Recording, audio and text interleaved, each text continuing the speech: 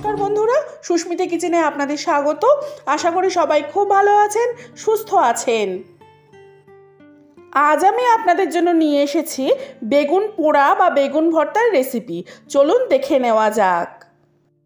একটা বেগুন নিয়ে নিয়েছি, বেগুনের দুটো সাইড আমি এইভাবে ছুরি দিয়ে কেটে দিচ্ছি।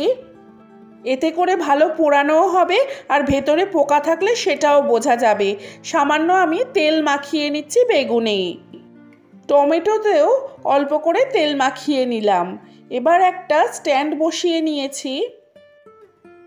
নিয়ে নেব একটা শুকনো লঙ্কা। এবারে গ্যাসটা আমি অন করে দিলাম। শুকনো লঙ্কাটা আগেই পুড়িয়ে নিচ্ছি।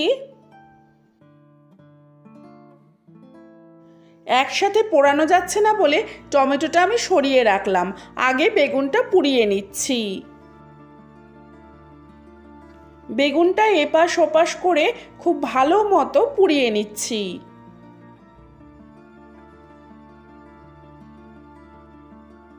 বেগুনের বোটাটা ধরে এদিক ওদিক ঘুরিয়ে ঘুরিয়ে পুড়িয়ে নিচ্ছি।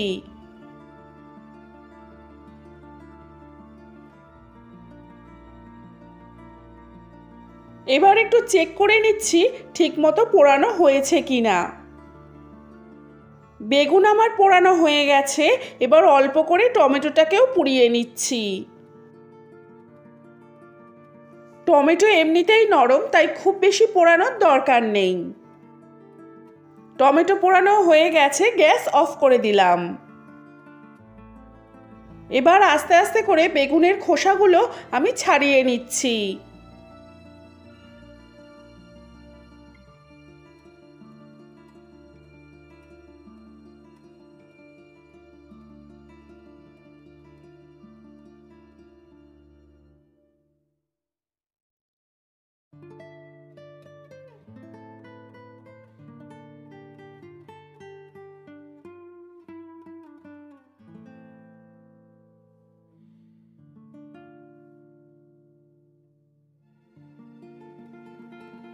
বেগুন আমার প্রায় ছাড়ানো হয়ে গেছে, আমি বেগুনটা অল্প করে জলে ধুয়ে নিলাম। ছুরি দিয়ে বেগুনের বোঁটাটা আমি কেটে নিলাম। আপনারা এটা হাত দিয়েও করে নিতে পারেন, আমি এবার টমেটোটা পরিষ্কার করে নিচ্ছি।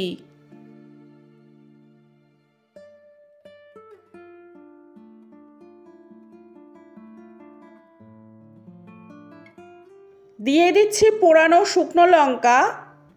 আন্দাজ মতো নুন।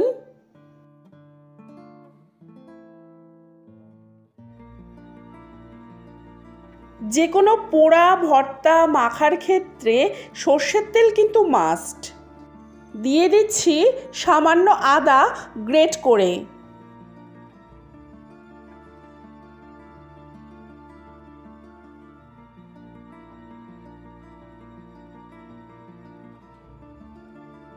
দিয়ে দিচ্ছি একটা কাঁচা লঙ্কা কুচি।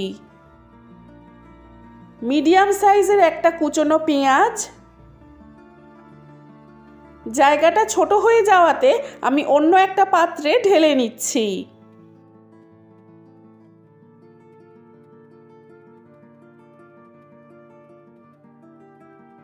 দিয়ে দেব সামান্য ধনে পাতা কুচি। এবার সবটা খুব ভালো করে হাত দিয়ে চটকে চটকে মেখে নেব।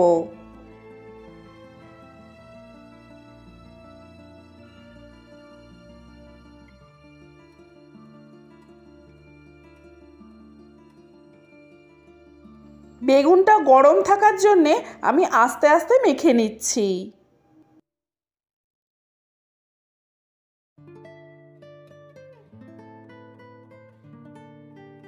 যে অংশগুলো একটু শক্ত মনে হয়েছে, সেগুলো আমি ফেলে দিচ্ছি।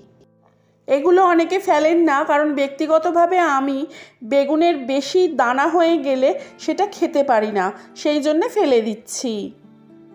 সারা বছরই খাওয়া যায় বেগুন পোড়া বা বেগুন ভর্তা, তবে বিশেষ করে এই শীতকালে গরম গরম ভাতের সাথে বেগুন পোড়া, আহা, উপাদেয় একটি খাবার।